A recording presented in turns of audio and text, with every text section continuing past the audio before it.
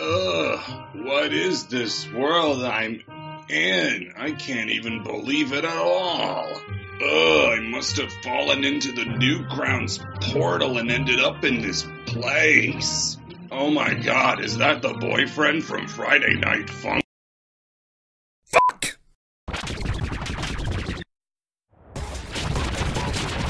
Child of the 2000s, not only have I seen every possible disaster in relation to both the ecosystem and economy, I also grew up in the heyday of internet animation. I would go on Newgrounds for hours and scroll through all the games that people would make for free. I'd spend hours playing Dad Game, watching Sonic Shorts and Parody Rangers, going to school the next day and telling all my friends that there was a video online with the Power Rangers and they were having the sex word. It was a magical time, and looking back, everything holds up exactly as well as when I was a child, just like all childhood media. And none of these precious memories would be possible without Flash an Adobe product with tons of application. Whether it be animation, game creation, desktop apps, or website creation, Flash proved itself to be a valuable tool for any creator. The problem is that with the march of time came the need to update, and considering Adobe is the single most putrid company on this big dirtball we call Earth, they chose to discontinue and retire the Flash player, causing years and years of internet history to be dusted, just like that. However, in the case of some games, they actually managed to transcend their browser game origins and move on to full-blown releases. This video can't cover all the releases, obviously, but I'll try to cover the best of the best. Starting with the earliest Flash success story, Alien Hominid. Alien Hominid started life as the creation of Tom Fulp, the creator of Newgrounds, and Dan Paladin. Released in 2002, it was a Metal Slug and Contra inspired shooter all about blasting the FBI as a crash landed alien. However, later on in the game's life cycle, more and more work was done to improve it, to the point that the 2002 game now acted as more of a prototype than a finished product. The game's development eventually got so big that with the help of John Baez, Alien Hominid was on track for a console release. In Europe, the game's distribution will be handled by Zushi Games, and in America by O3 Entertainment, a company most famous for releasing Chaos Wars on the PS2, which you may know for. We need to hurry, everyone's waiting for us. Ah! Screaming! It came from the bag alley. Sounds like a girl. I'll go check it out. Oh, we'll get back to you soon, Buster Brown! Seeing as they were now developing a full console game, Tom, John, and Dan formed the Behemoth and released Alien Hominid in 2002 on the PS2 and Xbox, 2004 on the GameCube, and 2005 on the Gizmondo. The game went on to be a critical success and opened the way for even more games from the Behemoth, including smash hits like Castle Crashers and BattleBlock Theater, with their latest game Pit People releasing in 2018. They're currently hard at work on Alien Hominid Invasion, a reimagining of the original game set to release on the Switch, Xbox, and PC. Alien Hominid might not seem like it, but it's probably one of the most important games in this era of gaming, showing that games developed into more accessible game making tools could still see mainstream success.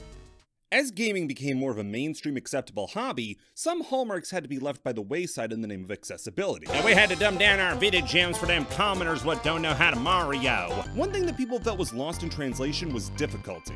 Games were made easier and easier, with the Ninja Gaidens and Contras of the world being replaced with goo goo gaga baby games like Kirby and Cooking Mama. What with their save features and more than three lives. I spit on your save features! This led some people to craving games that were hard for the sake of being hard. In steps Edmund McMillen and John McEntee, who over a three week period in 2008 developed Meat Boy, a precise and tough as nails platformer that tasks you with slipping and sliding all around the stage to save your girlfriend Bandage Girl from the evil Dr. Fetus. Soon after the game's release, Nintendo and Microsoft took notice of the game's developers and propositioned them to make games for their online game stores, WiiWare and Xbox Live Arcade respectively.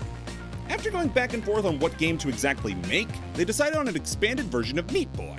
Development started on Super Meat Boy with the highest of hopes, with Edmund saying this game would be so amazing that you'll crap your pants and so awesome that your body will suck the crap back up inside you. Yeah, it was 2009, alright. However, by the end of development, these high hopes would sink to the depths of despair, as shown in the documentary Indie Game The Movie. Edmund and the newly created Team Meat would go through hell to get this game made, with Xbox saying, Ah, yes, Sunny Jim, we'll promote your game at our big indie game showcase if you complete four months of work in two. And seeing as the project's funds were close to this, the team had no choice. Five hour sleep cycles and a few dozen missed meals later, and Microsoft decided that now would be the perfect time to kick the team while they were down. The game received barely any promotion for the entire showcase, despite ending up being the best selling game out of the whole lineup. Soon after, the game released on all platforms. Uh, except for Nintendo, since the game's file size ended up being bigger than what they agreed on, and PlayStation, since they apparently just didn't care. Needless to say, the game was a smash hit, selling well over a million copies and validating the hours and hours of pain that went into making it. Since the game's release, Edmund left Team Meat and went on to a similar flash to full release conversion in The Binding of Isaac, a game that they just won't stop making. Just release Mewgenics already! And the now Edless Team Meat created Super Meat Boy Forever, which was not warmly received. From a game whose development was insanity to a game that's flat out insanity, My Friend Pedro was one of the indie darlings of 2019. Mixing the shoot 'em up gameplay of games like Madness with the combo based gameplay of Tony Hawk, there aren't many games that have gameplay as frenetic and crazy as Pedro's time bending gunplay.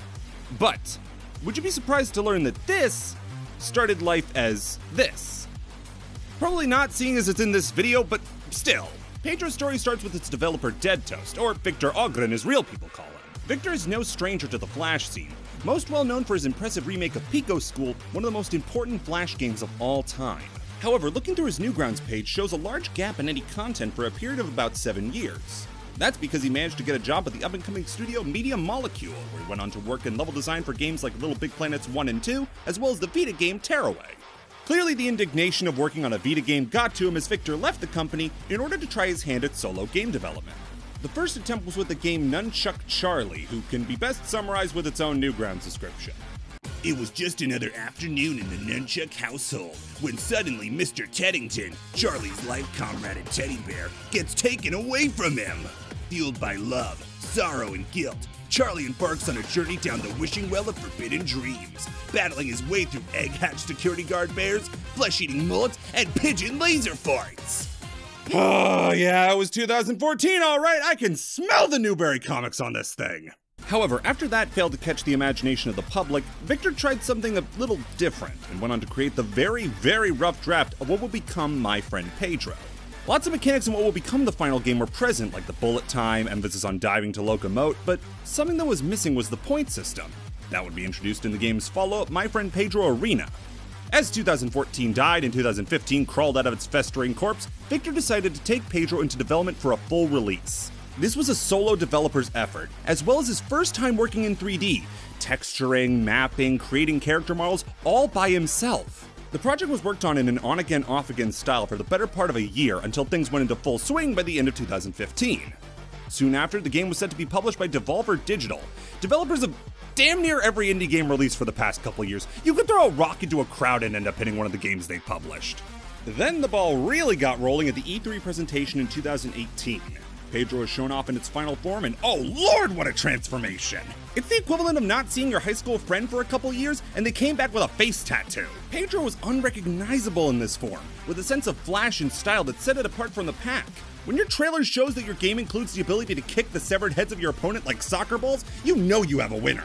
Pedro would soon come out on June 20th, 2019, and was lauded for all the above reasons. Even nominated at the Game Awards of the year of its release for Best Debut Indie Title. A reminder that that title was made by one guy based on a Flash game. For this last example, I really want to hone in on how much these games influenced me personally growing up. There I was in July of 2011 on Newgrounds. I was still pretty sure I shouldn't have been on this site, but I deleted my browser history every time I left, so I was basically Solid Snake. I scroll down to see what games are trending on the homepage. Uh, Learn to Fly 2, Pokemon Tower Defense. Uh, oh, hey, the new Riddle School game. That's nice. But then you see it Stealing the Diamond. I'd never heard of it before, but I decided that would be worth a shot. What I ended up getting was such a fun experience, I instantly went back and played the previous games. I'd sneak out during lunch at middle school to play them at the computer lab, I'd play through all the games a bunch and get all the fails. I loved the series. That series was the Stickmin series, which I call it because it doesn't really have an official title. Thanks! It would go on to get two sequels in infiltrating the airship and fleeing the complex, the latter of which I actually remember refreshing the page on Newgrounds for about an hour waiting for it to come out. Eventually, though, after fleeing the complex, the two year cycle that these games would come out on was slowing down to the point that there was no new Stickmin games for over five years. Little did we know why exactly that was the case. You see, since Adobe, who, reminder, would sell your mother into slavery and force you to buy her back on a subscription model, were shutting down Flash. The man behind the Stickmin series, Puffballs United, decided that there would be new avenues taken if they wanted to make the swan song for the series. This was going to be a full release and would pay off all the different routes throughout the series. But that would be a little difficult. See, the old games like Fleeing the Complex and Infiltrating the Airship were locked behind that pesky flash barrier. So, Puffballs, with the backing of his newly established company Innersloth, worked on a complete remaster of the series, going all the way back to Breaking the Bank, the first official entry in the series. But that wasn't all. The hook of the game was that whatever paths you took in infiltrating the airship and fleeing the complex would determine what paths you could take in the brand new final chapter, completing the mission. This was the perfect love letter to everyone who fell in love with the franchise, experiencing every possible scenario for how events could have played out, all while keeping the reference based humor that drew so many into the series in the first place. It's bittersweet to know the series has to end, but at the very least, it's going out on the highest of highs, and we don't have to hold the funeral on ArmorGames.com. But what are they working on now? Um, I think I think Innersloth went bankrupt actually, and uh, never ever